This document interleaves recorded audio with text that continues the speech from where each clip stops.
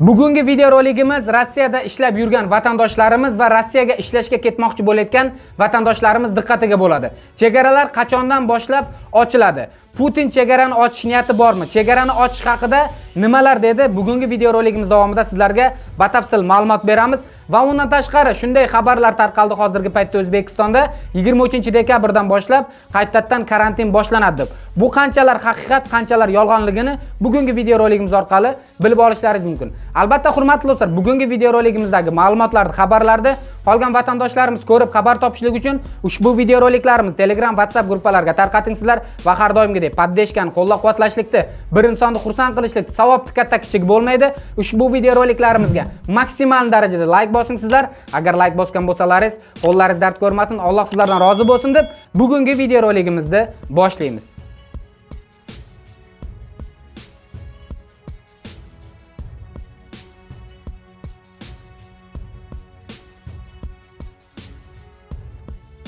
Ya assalomu alaykum aziz yurtdoshlar, assalomu alaykum aziz vatandoshlar, kanalimiz obunachilari va jigarlarim. Kanalimizga xush kelibsizlar. Sizlar bilan har doimgidek Qilichbek.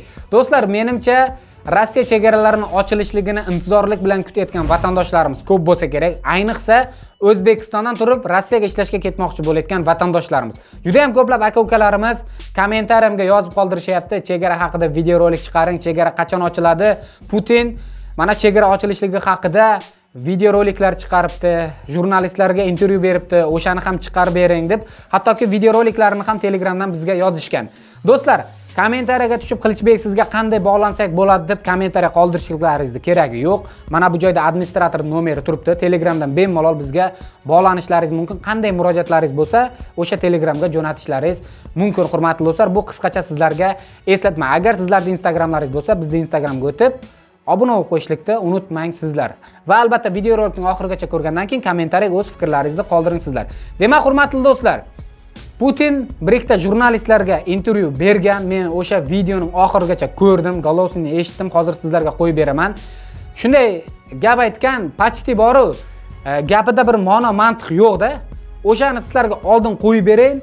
Ana undan keyin ba'zi bir mana shu Rossiyaga ishlashga ketmoqchi bo'layotgan vatandoshlarimizga qanday qilib Rossiyaga chiqib ketishda imkoniyati bor, qanday qilib hujjatlar tayyorlash kerak, biletlarni qayerdan olasizlar, shular haqida ham qisqacha ma'lumot berib o'tib ketaman. Demak, Putinning ovozli xabarlarini eshitamiz. Есть ли шанс на то, что границы э, будут открыты в ближайшее время? Закрытие границ с этим связано, с тем, что кто-то хочет ограничить Петербург. Э, Сейчас э, уровень заболеваемости ковидом в Петербурге какая? Высокая э, с точки зрения даже средних цифр, конечно. Да. Э, поэтому, собственно говоря, наверное, введены те ограничения, которые сегодня действуют внутри региона, в том числе и в новогодние праздники. Ну вот об этом-то и речь. В это- об этом и речь. Э, Уровень загрузки э, ковидных коек в стране в целом где-то, не помню сколько там, процентов 85, а в Петербурге больше.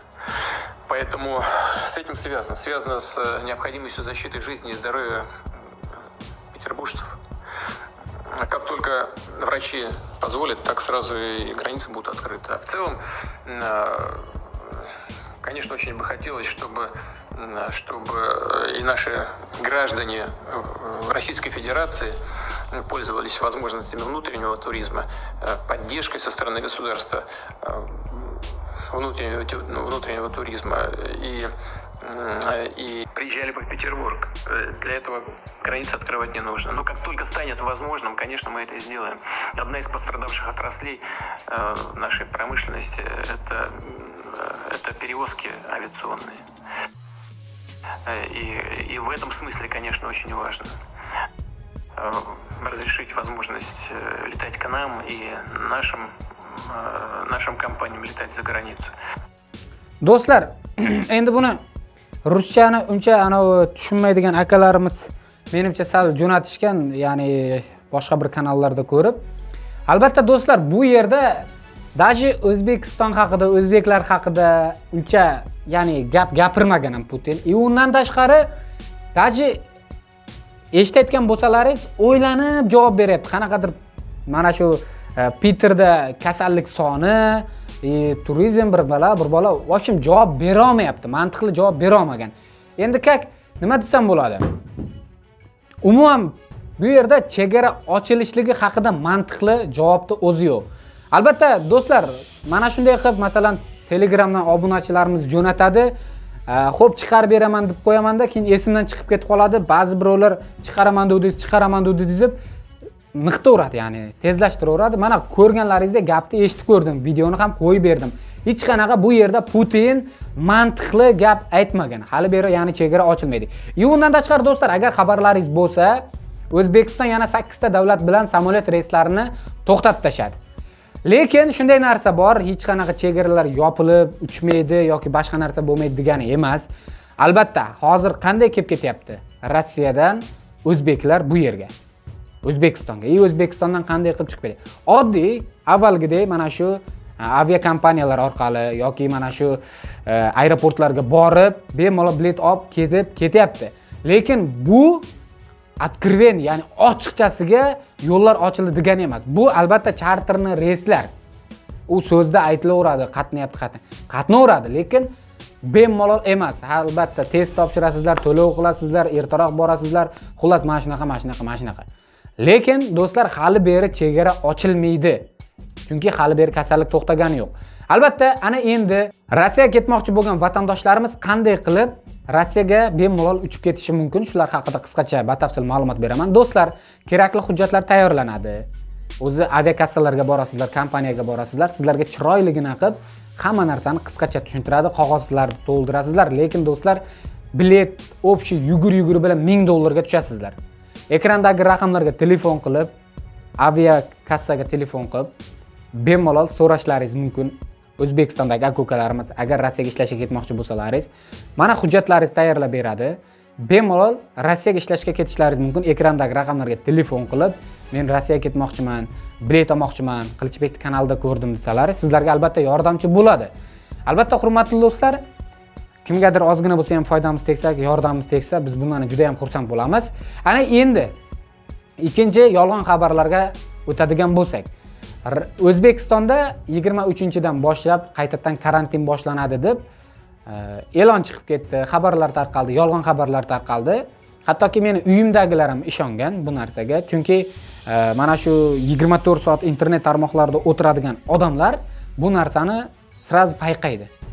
Masalan uchun bir soat avval yolg'on xabar tarqaldimi ikki soatdan keyin feykligini сразу aytiladi. Bu yolg'on yoki bo'lmagan deb turib chiqaradi. Lekin chekka chekka viloyatdagi qishloqdagi odamlar сразу ishonuvchan. Hattoki meni uyimdagilar ham ishonib shunaqa shunaqa bo'ladi ekan produktani qilib olaylik u man aytdim hech qanaqa hech narsa bo'lmaydi. Karantin boshlanmaydi. O'zi odamlar hozirgi paytda трудное времяda yashayapti qishda kuni ish kam ish kam bo'lgandan tashqari oylik вообще nol и undan tashqari yana hamma tomonni yopib tashlaydigan bo'lsa hamma och qoladi. Bu narsa bo'lishi mumkin emas deb hattoki o'zimni uydagilarimni ham sal ovutdim agar sizlarga ham rossiyada ishlab yurgan bo'lsalar sizlarga ham aytishim mumkin yigirma uchinchidan karantin boshlanadi pul jo'nat hamma narsani qilib olaylik deb. Do'stlar ko'ngillari xotirjam qilinglar. Hech qanaqa bu bo'lmagan gap karantin boshlanmaydi. Bemalol rossiyada ishlab soqqani qilaveringsizlar и e, undan tashqari rossiyadan o'zbekistonga kelmoqchi bo'layotgan zerikkan.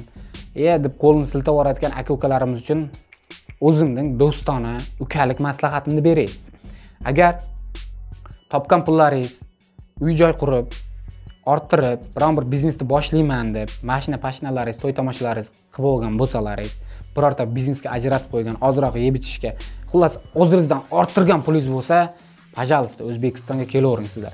Lekin jahl qilib kimgadandir arazlab ish yoqmasdan yoki u uydi bu uydi deb turib qolganlarga ergashib o'zbekistonga ketaman deydigan bo'lsalaringiz sizlarga maslahatim hozircha rossiyada ishlab turaveringlar. O'zbekistonda ish yo'q.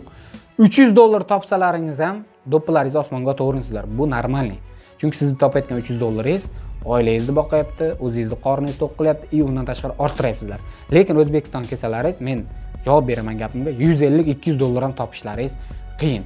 Men ochiqchasiga aytaman chunki o'zbekistonda mana o'zim keldim sharoitni ko'rib turibman. Bu narsa ochiqdan ochiq fakt.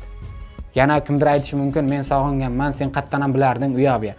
Unaqa akalarimizga aytish niyatim yo'q men gapimni пожалуйста miyalaringiz mana turibdi. Xohlasangiz kelaveringizlar просто men do'stona fikrimda. Yana o'zlaringiz bilasizlar. Chunki menga hozir e, murojaat qilishyapti mana shu o'zbekistondan rossiyaga ishlashga ketmoqchiman qanday ketmoqchiman deb turib.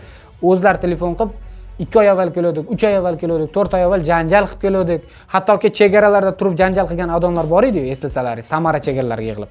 Hattoki o'shalar ham telefon qilib qanday ketsak bo'ladi qanaqa hujjat tayyorlashimiz kerak ishonchli aviakassalarni ayting deb ular mendan maslahat oladi. Ana o'sha paytda ham men aytgandim ey baraka topkurlar xo'p sog'inibsizlar mayli o'zbekistonga ketinglar. Lekin o'zbekistonga borgandan keyin chiqishlaring juda yam qiyin afsuslanib qolasizlar degandim. Mana ko'p o'tmasdan o'zlari yana menga murojaat qilishyapti. O'shaning uchun do'stlar yetti o'ylab bitta kelsingsizlar qolgani yaxshi bo'lib ketadi. Demak hurmatli do'stlar bugungi videoroliklarimiz albatta mana shulardan iborat edi.